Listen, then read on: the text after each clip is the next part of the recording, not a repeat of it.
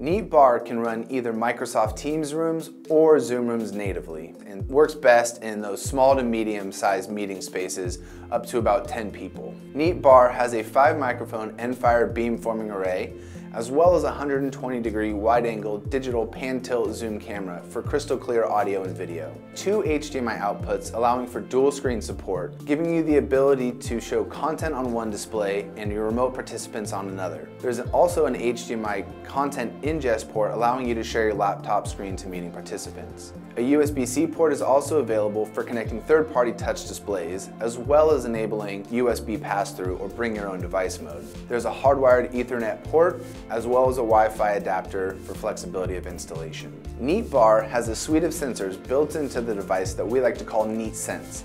This includes temperature, humidity, CO2, and VOC, or volatile organic compounds, as well as the ability to people count.